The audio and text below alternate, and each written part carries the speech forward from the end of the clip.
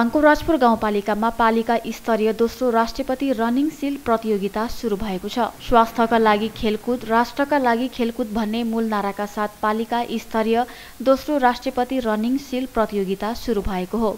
राजपुर गाउँपालिका अध्यक्ष प्रमुख शरद कुमार बुढाथुकीको अध्यक्षतामा भएको कार्यक्रममा लुम्बिनी प्रदेशका मुख्यमन्त्रीका राजनीतिक सल्लाहकार जानकीलाल बस्नेतले प्रतियोगिताको उद्घाटन गरेका हुन्। कार्यक्रममा प्रमुख अतिथि लुम्बिनी प्रदेशका मुख्यमन्त्रीका राजनीतिक सल्लाहकार जानकीलाल बस्नेतले शिक्षा अक्षरबाट मात्रै आर्जन नभई अतिरिक्त क्रियाकलापबाट पनि आर्जन हुने भएकोले खेलकुद कार्यक्रमहरूलाई हरेक विद्यालयले अघि बढाउनु पर्ने बताएका थिए। राजपुर गाउँपालिका अध्यक्ष शरद कुमार बुढाथोकीले शारीरिक र मानसिक स्वास्थ्यका लागि खेलकुद अपरिहार्य भएको चर्चा गर्दै राजपुरका विद्यार्थीहरूलाई राष्ट्रिय तथा अन्तर्राष्ट्रिय स्तरमा प्रतिस्पर्धा गर्ने दक्ष खेलाडी जन्माउने उद्देश्यले खेलकुदको विकासमा लागिरहेको बताए। कार्यक्रममा राजपुर गाउँपालिका उपाध्यक्ष धनपति देवी यादवले खेलकुदको विकास गर्दै विद्यार्थीहरूको प्रतिभा उजागर गर्नका लागि पालिकाले ध्यान दिइरहेको बताइन्। प्रतियोगिताको उद्घाटन सत्रमा वडा अध्यक्ष लगायत जनप्रतिनिधि स्थानीय अभिभावक खेलप्रेमी शिक्षक विद्यार्थीहरू लगायतको सहभागिता रहेको थियो। यही पुस सत्ताइस गतेसम्म सञ्चालन हुने प्रतियोगितामा पालिका भरका दसवटा विद्यालयको सहभागिता रहेको छ। प्रतियोगिताको अन्तर्गत भलिबल कबड्डी र एथलेटिक्सका खेलहरू सञ्चालन हुने खेल प्रशिक्षक केशव श्रेष्ठले जानकारी दिएका छन् पालिका स्तरीय राष्ट्रपति रनिङ सिल प्रतियोगितामा प्रथम द्वितीय र तृतीय हुने विद्यालयहरूलाई सिल्ड मेडल र प्रमाणपत्र प्रदान गरिने आयोजकले जनाएको छ। प्रतियोगिताबाट छनौट भएका विद्यालयहरूलाई चौधौँ जिल्ला स्तरीय राष्ट्रपति रनिङ सिल प्रतियोगितामा सहभागी हुनेछन् वडा नम्बर छका वडा अध्यक्ष श्याम रोकाको स्वागत मन्तव्यबाट सुरु भएको कार्यक्रमको सहजीकरण सुरेश यादवले गरेका थिए।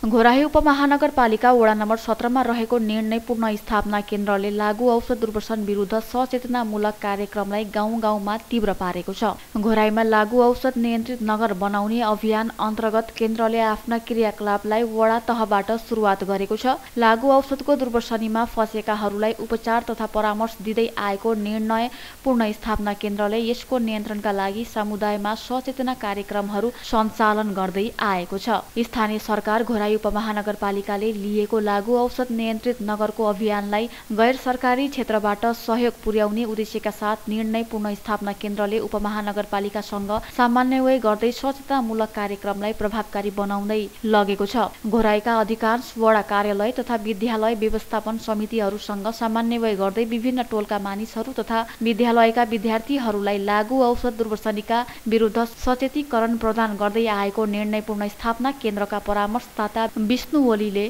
बताउनुभयो घोराईलाई लागू औषध नियन्त्रित नगर बनाउने अभियान अन्तर्गत गत वर्ष घोराईका एक चार छ सात बाह्र चौध पन्ध्र सत्र र अठार नम्बर वडाका टोल तथा विद्यालयहरूमा लागू औषध विरुद्धको सचेतीकरण प्रदान गरेको निर्णय स्थापना केन्द्रले यस वर्ष सो अभियानलाई तीव्र रूपमा अघि बढाएको छ। जस अन्तर्गत यस आर्थिक वर्षमा अहिलेसम्म घोराही पाँच र बाह्रका टोलका समुदायहरूका बीचमा कार्यक्रम सम्पन्न गरिएको छ।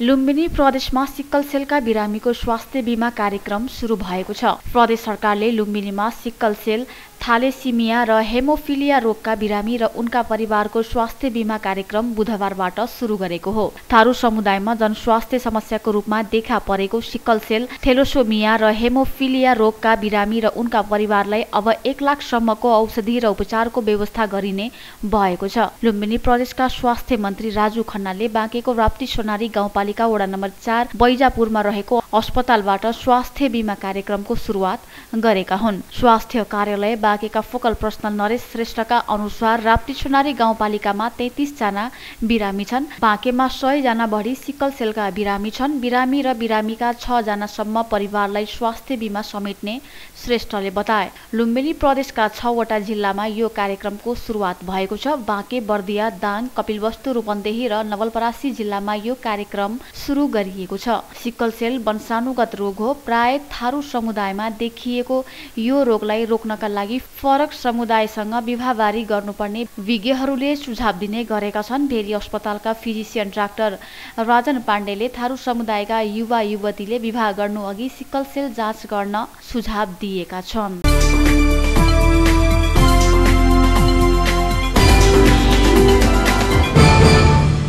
मन्त्री परिषदको मङ्गलबार बसेको बैठकले उद्योगहरूमा काटिएको विद्युतीय लाइन जोड्ने निर्णय गर्यो। निर्णय अनुसार काटिएको विद्युत लाइन जोड्न विद्युतीय प्राधिकरणलाई निर्देशन समेत दियो। एक दिन पहिले मन्त्री परिषदबाट भएको निर्णय सम्बन्धी निकायसम्म कार्यान्वयनका लागि पुग्न भने सकेको छैन। सरकारले निर्देशन दिए पनि त्यसको कार्यान्वयन जिल्लामा बुधबारसम्म हुन सकेको छैन। केन्द्रबाट बुधबार दिउँसोसम्म पनि कुनै परिपत्र नआएका कारण उद्योगमा काटिएको लाइन जडान नगरिएको नेपाल विद्युत प्राधिकरण घोराई वितरण केन्द्रका प्रमुख दिवाकर प्याकुरेलले जानकारी दिनुभयो। मन्त्री परिषदले निर्णय गरेको भनेर सुने पनि आधिकारिक रूपमा जानकारी नआएको प्रमुख प्याकुरेलले बताउँछन्। केन्द्रको निर्देशन अनुसार नै जिल्लामा हरेक सिमेन्ट उद्योगका लाइन काटिएको थियो। मन्त्री परिषदले निर्णय गरेपछि त्यसको कार्यान्वयन हुने आशामा उद्योगहरू छन्। सरकारले डेडिकेटेड र ट्रङ्क लाइन महसुल विवादका सम्बन्धमा छानबिन गर्न उच्च स्तरीय न्यायिक समिति समेत बनाएको छ। मन्त्री परिषदको बैठकले सर्वोच्च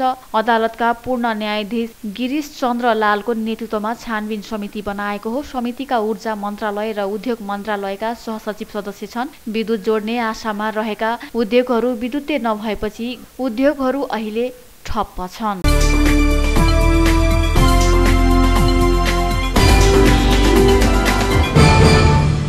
बर्दियामा आगोले जलेकी एक वृद्धको मृत्यु भएको छ। राजापुर नगरपालिका पाँच झप्टीकी अन्दाजी पचहत्तर वर्षीय सोहनी थारूको मृत्यु भएको हो।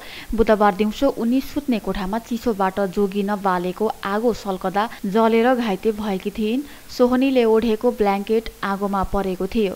त्यसबाट आगो सल्किएको थियो। घटना प्रस्ताव उपचारका निम्ति उनलाई बर्दिया अस्पताल हुँदै नेपालगञ्ज ल्याइएको थियो। उपचारका क्रममा बिहिबार बिहान चार बजे नेपालगञ्ज स्थित कान्ति आरोग्य अस्पतालमा उनको मृत्यु भएको जिल्ला प्रहरी कार्यालय बर्दियाका सूचना अधिकारी एवं डिएसपी तुलसीराम अरियालले जानकारी दिनुभयो। घटनाबारे थप अनुसन्धान भइरहेको प्रहरीले जनाएको छ।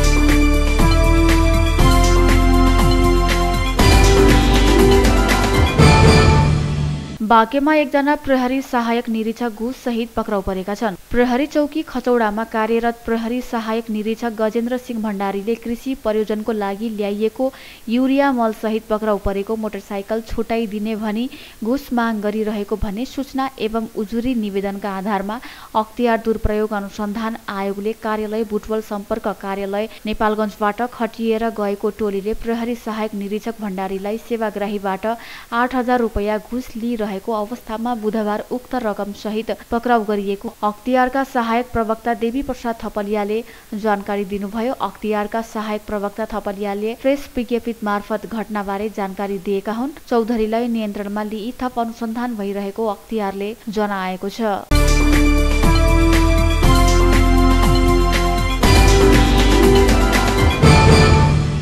सन्दीप लामिछानेलाई नेपाल क्रिकेट सङ्घ क्यानले निलम्बन गरेको छ। काठमाडौँ जिल्ला अदालतले बलात्कार आरोपमा दोषी टहर गर्दै हिजो आठ वर्षको जेल सजाय सुनाएपछि क्यानले उनलाई निलम्बन गरेको हो। लामिछानेलाई घरेलु तथा अन्तर्राष्ट्रिय कुनै पनि प्रतियोगितामा खेल्न नपाउने गरी निलम्बन गरिएको क्यानले विज्ञप्ति निकालेर जनाएको छ। राष्ट्रिय टिममा पूर्व कप्तान समेत रहेका लामिछाने विरुद्ध गएको वर्ष भदौमा बलात्कारको उजुरी परेको थियो। बलात्कार आरोपमा अदालतले उनलाई दोषी गरेको गरेको हो। यसअघि हिजो नै लामिछानेले राष्ट्रिय टिमबाट अलग भएको घोषणा गरेका थिए।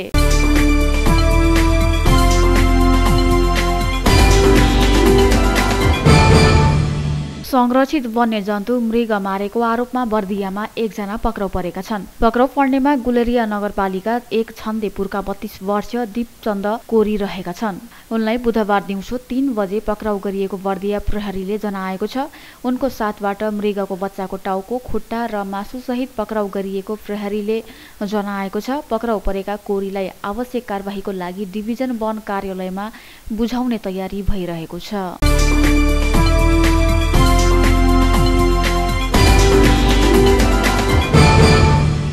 दाङ लगायत देशभर चिसो बढेको छ। दाङको न्यूनतम तापक्रम पनि घट्दै गएको छ। केही दिनदेखि बिहानमा लगातार बाक्लो हुस्सु र कुहिरो लागिरहेको छ भने आज शीतलहरले जनजीवन प्रभावित भएको छ। जल तथा मौसम फिल्ड कार्यालय घोराईका अनुसार बिहिबार आजको न्यूनतम तापक्रम सात दशमलव पाँच डिग्री सेल्सियस मापन गरिएको छ। मङ्गलबार दाङको न्यूनतम तापक्रम पाँच दशमलव तिन डिग्री सेल्सियस मापन गरिएकोमा बुधबार हिजो आठ दशमलव दुई डिग्री सेल्सियस मापन गरिएको थियो। यस्तै तराई मधेसका जिल्लामा पनि केही दिनदेखि लगातार बाक्लो हुसु कुहिरो लागिरहेको छ। दिउँसोसम्मै हुसु कुहिरो लागिरहँदा तराईका सबैजसो ठाउँमा चिसो बढेको मौसम पूर्वमान शाखाले जनाएको छ। चिसोकै कारण तराई मधेसका कतिपय विद्यालयमा विदा दिइसकेको छ। तराईसँगै देशका अरू ठाउँमा पनि चिसो बढेको छ। आज पनि उच्च पहाडी तथा हिमाली भेगका एक दुई ठाउँमा हल्का हिमपातको सम्भावना रहेको महाशाखाले जनाएको छ।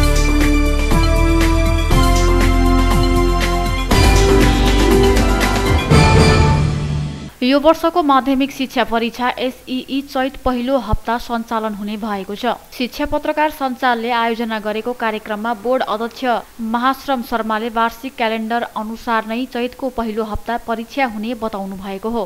संसदमा छलफलको क्रममा रहेको शिक्षा विधेयकमा एसई नरहेकाले हुने नहुने भन्ने खालको अन्यलमा नपर्न अनुरोध गर्नुभयो। अध्यक्ष शर्माले विधेयक पास भएर कानून नबनेसम्म परीक्षा हुने स्पष्ट पार्नुभयो। शिक्षा मा सर्टिफिकेट बोर्डले वितरण गर्ने भएकोले केन्द्रबाट रुटिन सार्वजनिक गरिएको र व्यवस्थापन प्रदेशले गर्ने उनले बताए भूकम्प प्रभावित जाजरकोट र रुकुम पश्चिममा पठन पाठन सञ्चालन भइरहेकोले एसई प्रभावित नहुने उहाँले बताउनुभयो। यस वर्षदेखि सबै विषयमा पैँतिस प्रतिशत ल्याउनै पर्ने प्रावधान राखिएको परीक्षा नियन्त्रण नन्दलाल पौडेलले बताउनुभयो। यसअघि ग्रेडिङ सिस्टम थियो अब ग्रेडिङ नहुने भएको छ। अहिलेसम्म रजिस्ट्रेसन भर्ने विद्यार्थीको संख्या चार लाख उनानब्बे हजार चार सय चौवालिसजना रहेको कार्यालयले जनाएको छ।